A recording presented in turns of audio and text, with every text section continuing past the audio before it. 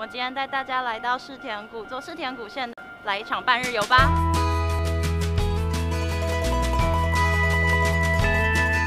我们现在来买世田谷一日券，三百三十块可以让你全线走透透。我们现在首先到的车站叫什么站呢？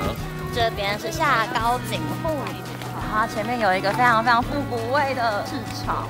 车站旁边的一家拉面 y o s k e 蛮浓厚的鸡汤味，但是其实不会太香。这是四田谷线路面电车上面哦。车子其实非常非常的迷你，只有两节车厢。我们现在到三峡站了。那站一出来就有个小小的商店街里。对呀，然后里面感觉还蛮多小店、小餐厅。现在走到好的紫金坡这边是招财猫的发源之地，看到一大成群的招财猫在身后。我们现在在公知板站，那这边停了一个当初在江之岛步行的一个旧车型，还蛮多小朋友在这边就是玩电动啊，或者是在吃饭，作为一个休息场所。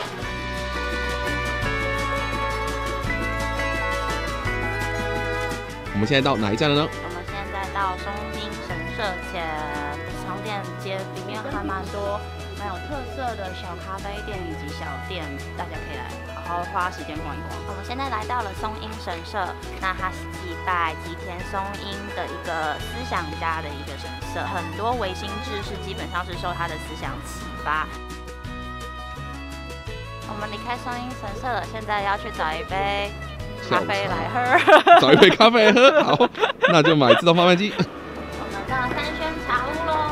那很多可能呃不是东京人来东京求职，刚开始都会选择来三轩茶屋这边来租屋，因为就是第一，其实交通也算很方便；第二就是租金还蛮便宜。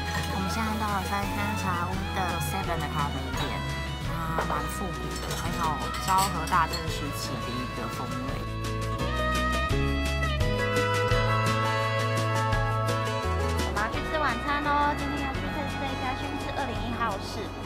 哇，Jennifer 家店超下列，他吃什么啊？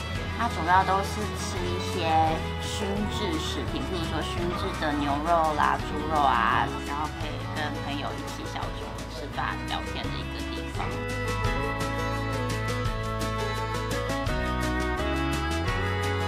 今天带大家走赤田古线的一个半日游。那如果对于东京已经玩腻了，然后想来一场就是不一样悠哉的旅程的话，欢迎大家来试试看这样子的一个旅行哦。